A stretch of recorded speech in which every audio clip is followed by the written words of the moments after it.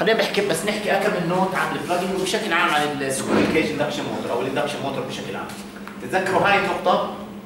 هي ال zero torque اللي هي ال synchronous speed اللي بصيرش عندها torque الفترة هاي كلها عم نعمل هون motoring ال speed positive وال torque positive وال power positive يعني عمالها بتروح من ال source لل load هلأ إذا بطريقة معينة زدت السرعة عن السرعة ال synchronous speed هذا هون رح يتحول ل generator فهذا في المنطقة هاي رح يشتغل induction generator نفس ال direction لازم يكون. نفس ال direction تمام.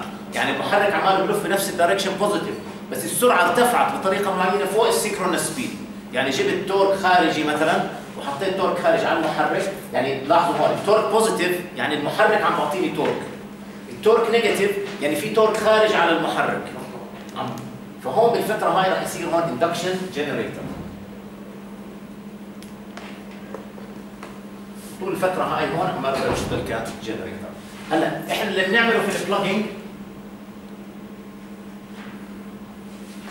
لو كانت هذه عندي هون هاي S طبعا تذكروا إنه slip ال slip واحد هون فال slip هون بيساوي واحد ال slip هون بيساوي S اللي هي القيمة الصغيرة هاي. وأنا لما بعكس الاتجاه على المحرك عمالي بنقله في المنطقة هذه هون فبصير عندي slip هذا هون ناقص واحد.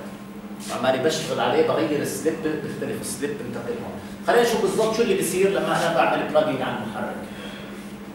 دكتور ال slip لازم يكون شوي على الشمال هيك عند هاي المنطقة بتكون zero. ال slip ال slip. وين؟ هون؟ آه بتكون zero لازم على آه تمام تمام مظبوط. هاي ال slip هون بيساوي zero. وهذا هون بيساوي S okay؟ فال slip هون بيبدأ عندي zero. واحد وبعدين بصير هون ناقص ناقص واحد. آه رح يصير اثنين. رح يصير عندي هون اثنين minus S خلينا نرسمه هون يمكن أوضح شوي. هلا بنكون شغالين إحنا المحرك في هاي المنطقة هون. نعمل عليه plugging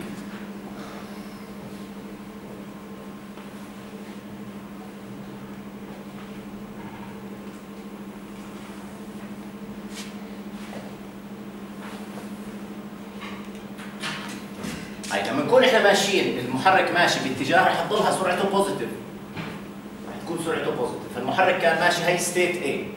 هاي أول نقطة كنا موجودين فيها. نفترض اجينا عكسنا الآن اتجاه الدوران فنعكس ال torque على المحرك. لسه المحرك positive سرعته. عماله بيمشي باتجاه معين يعني عماله بيمشي بهذا الاتجاه مثلا positive وإحنا حاطين عليه هون 3 phase R S T عند النقطة هاي. اجينا عكسنا اثنين من ال من ال connections اللي موجودة هون. فال magnetic flux اللي كان موجود ما كان يلف بهذا الاتجاه رح يصير يلف بهذا الاتجاه.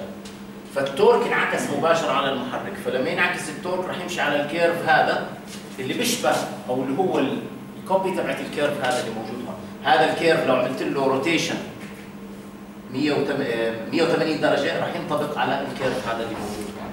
هلا عندي النقطة هاي ال torque صار negative راح يعمل braking فالمحرك راح يتحرك الآن راح ينزل سرعته لاني عمال عمل عليه braking لحد ما يوصل النقطة هاي النقطة. عند هاي النقطة راح تصير سرعته zero بس في عليه torque وال torque عمال بحاول يعكس اتجاهه. فاللي راح يصير الآن راح تضلها تنزل تنزل السرعة لحد ما هون ال speed عند النقطة هاي بتساوي zero. وإيش راح يصير فيه؟ راح ينتقل من هون راح يضل ماشي لحد ما يوصل ال slip مشابه لل slip اللي موجود هون عند النقطة هاي. فهذه هون A B C D بهذا الاتجاه. إذا تركته يعكس اتجاهه ويضل ماشي لحتى يوصل للنقطة. هلا لاحظوا هذا هون جزء ال curve اللي موجود هون؟ هو نفس جزء ال curve اللي موجود. إحنا عادة نعمل له braking إذا بدي أنزله بس من سرعة لسرعة ثانية بس بخليه ينزل. أو إذا بدي أوقفه أحيانا بنستخدمه لتوقيف المحرك. لازم بس يوصل عند السرعة هاي تقريبا قبل بشوي أفصل عنه ال system. إذا الهدف إني أوقفه يعني if آه want to stop it fully. يعني مش reversal ما بدي أعمل reversal point C لازم إذا at point C disconnect disconnect the supply. لأنه إذا ما عملت disconnection لل supply راح يعكس اتجاهه ويمشي بهذاك الاتجاه. okay ماشي واضح. لهذا إذا اللي بيصير عند النقطة A و B أنا عند النقطة A و B عكست الاتجاه. فكان ال phase sequence R S T صار مثلا R T عكسنا ال phase sequence لما عكسنا ال phase sequence صار ال magnetic flux يلف بعكس الاتجاه وانقلب ال synchronous speed صارت هون بدل ما هي هون. فال magnetic flux عماله بلف بهذا الاتجاه. فالمحرك هون عليه braking رح ينزل سرعته لحد ما يوصل عند النقطة هاي بعدين هون رح يصير reverse motoring لحد ما يوصل النقطة هاي أو عند نقطة C إذا بدي أوقف بدي أعمل disconnection كامل للسبلاي